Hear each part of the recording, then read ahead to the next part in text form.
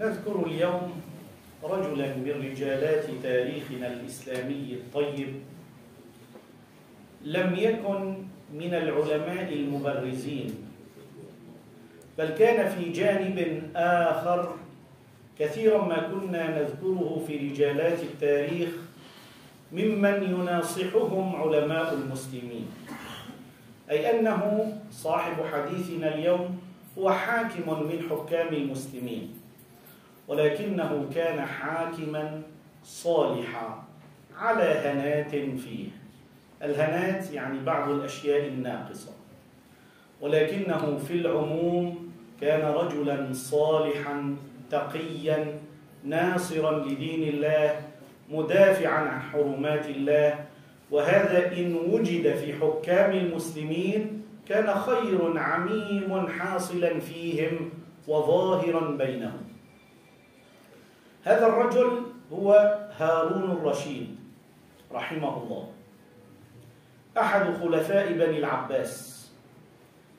والخلافة العباسية كسائر الخلافات التي مرت ما عدا الخلافة الراشدة جرى فيها خير وشر وظهر فيها أناس صالحون وأناس سيئون منحرفون. ولكن هذا الرجل بالذات شوهت صورته تشويها أليما. تكلم عنه كثير من الناس بصورة تجعله إنسانا في نظر البشر سيئا من أسوأ الناس. ومن أسوأ من أو من أكثر من شوه صورته كتاب كان يقرأ قديما يسمى ألف ليلة وليلة. هذا الكتاب ملئ قصصا مكذوبة على هذا الرجل الخير واتهموه فيه بالفواحش والضلالات والانحرافات وغير ذلك. وجاء بعض المستشرقين والمستشرقون هم الذين درسوا تاريخ المسلمين وحضارتهم سواء كانوا من الشرق أو من الغرب. يعني سواء كانوا من جهة شرق بلاد المسلمين أم غربها. نعم درسوا تاريخ المسلمين وحضارتهم لا للاستفادة منها في أكثر الأمور وإنما للطعن وتشويهها في أكثر الأحيان. كذلك هؤلاء شوهوا تاريخ هارون الرشيد. لما؟ يتساءل الإنسان. لأن حياته وفترة حكمه كانت ذروة قوة الدولة الإسلامية تقريبا عبر العصور. كان يحكم من بلاد المسلمين ما يزيد على أربعين دولة مجتمعة الآن. وكان مناصرا للدين ذابا عن حرماته مقربا للعلماء. لذلك اغتاظ كثيرون منه. ليش هيك وضع المسلمين؟ وصلوا إلى ذروة القوة والمجد والنشاط والعزة. فاغتاظ بعض منحرفي أبناء المسلمين واغتاظ جميع أعداء المسلمين. وله قصص كثيرة جدا في تأثره بالمواعظ. كان يخرج مع تلميذ مع خادمه أو مساعده فيقول له اذهب بي إلى بيوت العلماء. خذ بي إلى أماكن الصالحين. ويقرع الباب في الليل في النهار وهو لا يظهر نفسه. ويدخل فإذا دخل إلى العالم سلم عليه وقال له عظني. أعطيني نصيحة. من يفعل هذا مو في زمننا بل في زمنهم. من يفعل هذا؟ من أفراد المسلمين فضلا عن حكامهم. حاكم يحكم أربعين دولة مجتمعة يخرج أحيانا في الليل أو النهار مستخفيا ليقرع الباب على بعض العلماء وفي البداية قد لا يعرفه بنفسه يقول انصحني عظني. دخل يوما على الفضيل بن عياض رحمه الله العالم العلم الجليل. فلما عرف الفضيل أن الذي دخل إليه الخليفة هارون الرشيد أسرع إلى داخل حجرته فأطفأ السراج. معلوم في تلك الأعصر ما كان هناك كهرباء. يعني طفى الضوء. قال دخل عليه الخليفة فأطفأ السراج. نعم. ما الحكمة؟ سنرى الآن. أطفأ السراج. الخليفة ومعه مساعده الذي جاء به إلى الفضيل بن عياض. فجعل الخليفة لا يرى أمامه فيتحسس على الجدار. يده على الجدار عشان ما يقع. إلى أن وصلت يده دون أن يرى طبعا وقعت كفه على كف الفضيل بن عياض. فلما لمسها الفضيل قال له كلمة عجيبة. قال ما ألينها من كف لو نجت من عذاب الله. شديدة في نعمة بس بشرط إنه تنجو من عذاب الله في الآخرة. النعومة راح تروح. فبكى الرشيد بكاء مرا فقال له مساعده رفقا بأمير المؤمنين قال أسكت ويلك ما أذهبه إلا أنت وأصحابك. اسكت لا تحكي ولا كلمة. أنتوا اللي غريتوه أنتوا اللي آذيتوه من كثر النفخ. معلوم هذا عبر العصور أيضا المنافقون. قال ما أذاه إلا أنت وأصحابك. وجعل يقول له عظني فيعظه فيبكي. فيبكي. إلى أن فرغ من موعظته فلما قام وسلم عليه قال لخادمه ضع له هذه في البيت. وكان حينما يزور العلماء يأتي بصرر مملوءة ذهبا وفضة فيهديها للعلماء. فقال له ضع هذه في البيت. فوضعها مساعده في البيت وخرج سريعا. أشعل السراج الفضيل بن عياض فإذا به يرى صرة مملوءة دنانير من الذهب. فأسرع خلفهم فتح الباب وركض أسرع راكضا خلفهم. وأعطاها للخادم وقال خذها. ورجع سريعا. نظر الخليفة فإذا بسرته قد ردت إليه. دخل الشيخ وأغلق الباب. رجع الخليفة هارون ومعه خادمه أو صاحبه إلى بيت الشيخ لينظروا لما ردها فإذا بهم يسمعون من داخل البيت حوارا بين بعض بنات الفضيل بن عياض وأبيهن يقولن له يا أبانا ما عندنا من عشاء؟ فلو قبلتها. ما عندنا نتعشى إيه طيب وبلاش فيها يعني إيش سوى هو؟ ما عندنا من عشاء؟ فلو قبلتها. قال أتريدنا أن أدخل أن أدخل النار؟ ترود يعني مشان أقبل تروحوني على النار. أتريدنا أن أدخل النار؟ فسكت. فقال الخليفة لصاحبه اقرأ عليه الباب وتلطف حتى يأخذها وقل له إن لم ترضها لنفسك فخذها لبناتك. فقرأ عليه الشيخ فقرأ عليه خادم الخليفة. قرأ عليه الباب ففتحت إحدى بناته. فقال خذي هذه لأبيك. فقالت إن أبي لن يأخذها.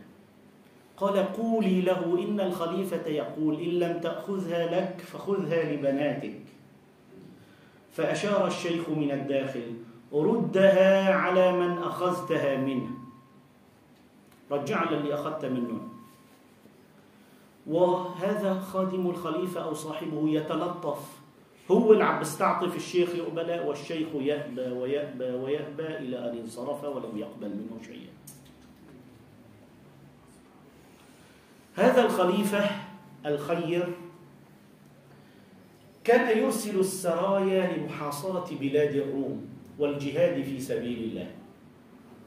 فخرج مجاهدا مرة واستطاع أن يفتتح عددا من بلاد الروم وينتصر عليهم ويأخذ الجزية من ملكة لهم تدعى إيريني. أخذ منها جزية كبيرة سبعين ألف دينار. وغير ذلك ورجع إلى بلده وقدر الله تعالى أن تثور الروم ضد هذه المرأة الملكة التي كانت تحكمهم ويولوا بدلا منها ملكا رجلا يدعى نقفور. فتولى نقفور وأبلغوه أنهم يؤدون من خزانة ملك الروم إلى آه، بلاد المسلمين كذا وكذا من الدنانير الذهبية مع هدايا وأشياء أخرى. فكتب رسالة إلى هارون الرشيد. من نقفور ملك الروم إلى هارون الرشيد ملك العرب. أما بعد فإن الملكة التي كانت قبلي أقامتك مقام الرخ والبيدق. الشطرنج أحجار الشطرنج. بمعنى جعلتك بمثابة سيد عليها. وهذا هو حمق النساء وطيشهن. لأن هي ما بتفهم هيك ساوت. جعلتك بمقام السيد عليها ورضيت أن تدفع لك الجزية. نعم. وهذا طيش النساء وحمقهن فإذا بلغك كتابي هذا فرد كل شيء دفعته ملكتنا إليك وإلا ترى ما نصنع. وقرأ أو قرأت على هارون الرشيد رسالة هذا الملك. فلما قرأها استشاط غضبا وغيظا. وقال هاتوا الرسالة. فجيء بها إليه فأخذ الدواة وكتب على ظهرها. بسم الله الرحمن الرحيم. من هارون الرشيد أمير المؤمنين إلى نقفور كلب الروم. أما بعد فالجواب ما ستراه لا ما تسمعه نحن بنفعل ما نقول وجهز جيشا عظيما فيه ما يقرب من مئتي ألف إنسان وانطلق إلى بلاد الروم. حتى وصل هرقلة فخربها هرقلة الآن في تركيا. لعلها الآن أطلال. نعم فكانت مدينة عظيمة من مدن الروم وحصنا ضخما جدا كبيرا محصنا فحاصرها مدة ثم استطاع الدخول إليها فخربها وتابع مسيره فأرسل إليه النقفور يستعطفه ويسترضيه ويقول ندفع لك ما كانت تعطيه آه، الملكة قبلي. قال لا حتى تعطي مثل ما تعطي ومثله معه. تعطيني ضعفين. ورضي ملك الروم الصاغرة وأرسل بالجزية إلى هارون الرشيد. فلما رجع هارون الرشيد وصل إلى الرقة المدينة التي في بلادنا فإذا به تأتيه الأخبار أن نقفور قد نقض العهد معه. نقفور قال بعد مو معقول يرجع مئات كيلومترات راحت. فأمر جيشه فعادوا من حيث أتوا ولم يرجعوا إلى بغداد. رجعوا من حيث أتوا فدخلوا إلى بلاد الروم مرة أخرى وحاربوا الروم وقتلوا فيهم مقتلة عظيمة حتى أرسل إليه نقفور مرة أخرى يسترضيه. وكان قد أخذ منهم أسرى كثيرين جدا فأرسل إليه نقفور يستعطفه استعطاف الذليل ويقول اصنع ما شئت لكن في الأسرى بعض أقاربي هل تردهم لي؟ هل تردهم لي؟ هل تفعل كذا؟ بأسلوب الذليل العبد. فلما رأى هارون منه هذا التذلل أرسل إليه أن أردهم عليه أنا أردهم عليك. فرد له هؤلاء الذين طلب استعطافهم منه وخرجوا إليه. هذا الرجل يمثل عزة الإسلام. بمثل هذا نصرنا وبالمداهنة والنفاق والمجاملة ذللنا. لما يرفع الإنسان لواء الإسلام ليس, لا مع ليس معنى هذا أن أعادي الناس جميعا ولا أن أقاتلهم لا لا لا لا. ولكن لا أرضى الدنية في ديني. إنسان يريد أن يذلني في ديني لا أرضى ذلك. سبحان الله. ومرت الأيام على هذا الرجل واستشعروا دنو أجله. فصار الفضيل بن عياض يدعو فيقول اللهم بارك في عمر هذا الخليفة وخذ من عمري إلى عمره. فنظر بعض أصحابه بيعرفوه رجل صالح وما بنافق طبعا هو لم يرى هو تعرفون ما صنع مع الخليفة وإيش قال له. الآن هو وحده مع أصحابه يقول خذ من عمري إلى عمر الخليفة. تعجبوا له قالوا ما تقول يا شيخنا؟ فسكت. قالوا فلما مات هارون رحمه الله وتولى بعده ابنه المأمون وحصل في آخر عهده ما حصل من فتنة خلق القرآن قد ذكرتها أشرت إليها منذ أيام في قصة الإمام أحمد وبقي بن مخلد قالوا الآن عرفنا لما كان يدعو الشيخ بهذا الدعاء. الشيخ كان أعلم بما يقول. عرفان إيش عم الشيخ؟ ما هو منافق لا ينافق. هو لما دخل إليه هارون تعلمون كيف نصحه؟ وقال له ما ألينها من كف لو نجت من عذاب الله. ولكنه كان يعرف أنه كان سدا هارون الرشيد كان سدا في وجه كل أناس من أهل البدع ومن أهل الانحراف ومن أهل الآراء الشاذة ومن الذين يبتغون شرا بالمسلمين. كان حصنا منيعا وسدا قويا في وجههم. فلما مات بدأت الفتن تأتي شيئا فشيئا إلى أن عمت بعده.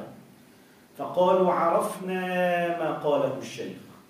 رحم الله هذا الخليفة العادل ورزقنا جميعا الاستقامة على طاعته إنه سميع الدعاء. والحمد لله رب العالمين.